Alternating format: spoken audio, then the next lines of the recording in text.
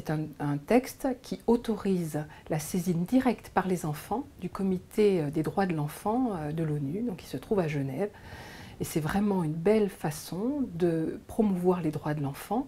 et, de permettre aux enfants de s'exprimer. De la même façon d'ailleurs qu'ils peuvent saisir le défenseur des droits euh, en cas de difficulté, quand ils se sentent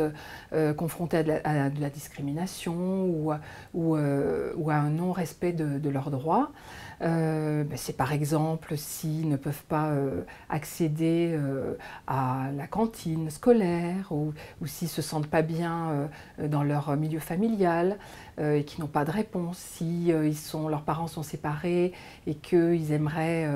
conserver euh, des liens avec soit, le, soit leur papa, soit leur maman, mais qu'ils ont le sentiment de ne pas avoir été écoutés et ni entendus par rapport effectivement à ces questions-là. C'est très très large, ça concerne tous les aspects de la vie d'un enfant, y compris le droit à l'accès aux origines, euh, pour lequel euh, l'institution du défenseur des droits a redit et va redire encore l'importance effectivement que les enfants puissent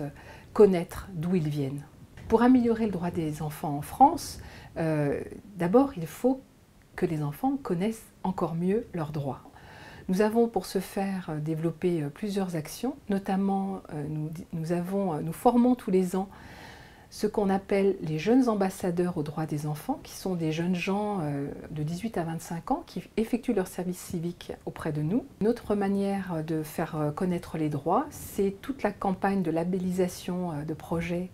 à laquelle nous nous sommes dans laquelle nous nous sommes inscrits cette année, à l'occasion donc de la célébration du 25e anniversaire de la Convention internationale des droits de l'enfant.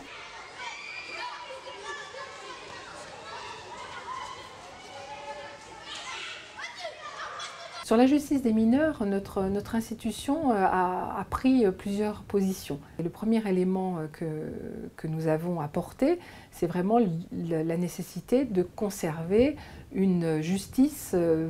spécifique pour les mineurs en développant le volet euh, éducatif euh, auprès, d'eux pour effectivement leur permettre euh, de, se construire et de se construire et d'être respectés dans leur qualité de mineurs. Le deuxième élément qui a été transmis, sur lequel,